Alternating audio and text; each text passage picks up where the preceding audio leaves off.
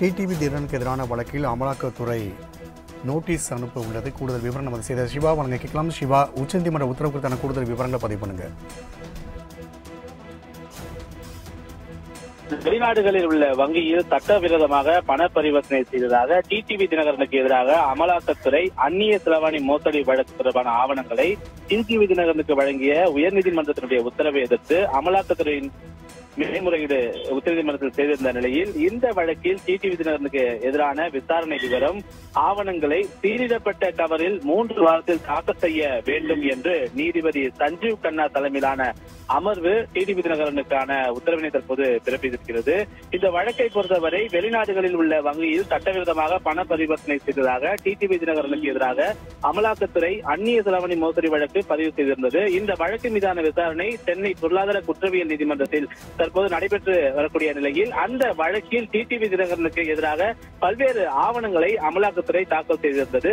இந்த ஆவணங்களில் பலவும் புனையப்பட்டது என தினகரன் தரப்பு குற்றம் சாட்டியிருக்கக்கூடிய நிலையில அந்த ஆவணங்கள் உண்மையானதுதானா என்பதனை உறுதிப்படுத்தவும் அது தொடர்பான பதிலளிக்கவும் தங்கள் தரப்புக்கு அமலாக்கத்துறை ஆவணங்களை தர வேண்டும் என்றும் கோரியிருந்தார். ஆனால் வழக்கு தொடர்பான ஆவணங்கள் டிடிவி தினகரன் தரப்புக்கு வழங்கப்படவில்லை.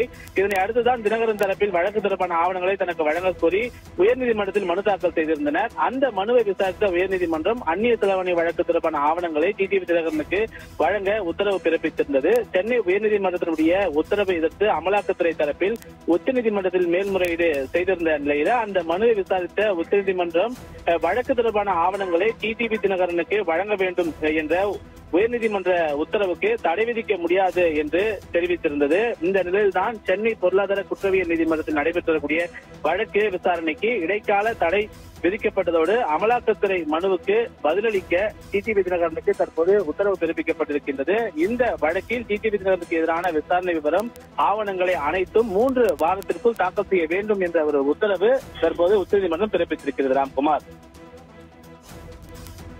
டிடிவி தினகரன் வழக்கில் அமலாக்கத்துறைக்கு உச்சநீதிமன்றத்தின் உத்தரவு குறித்தான தகவலை பதிவு செய்தமைக்கு நன்றி சிவா.